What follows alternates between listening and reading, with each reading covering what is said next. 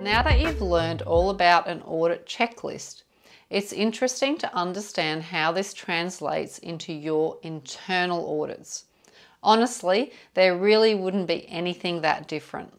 I might suggest that as an internal auditor, it's more likely that you have, or the business has, a pre existing company provided audit checklist.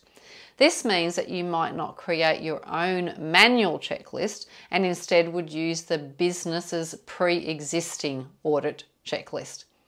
This doesn't mean that you won't also write your own checklist manually as you work through the audit. However, you will still need to use the company provided checklists.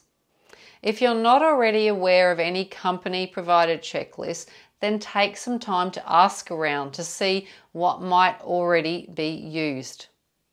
These pre existing checklists shouldn't restrict you in following up audit trail. So make sure that they're flexible for you to use. And also make sure they're not this tick and flick type. This is really dangerous, as then there may be the tendency to do just that tick and flick and not really dig in deep to the audit evidence.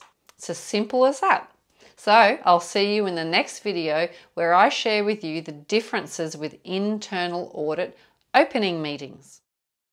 Don't forget to subscribe to Atoll TV and leave a comment or question as I truly do want to help you to join the best career out there with me.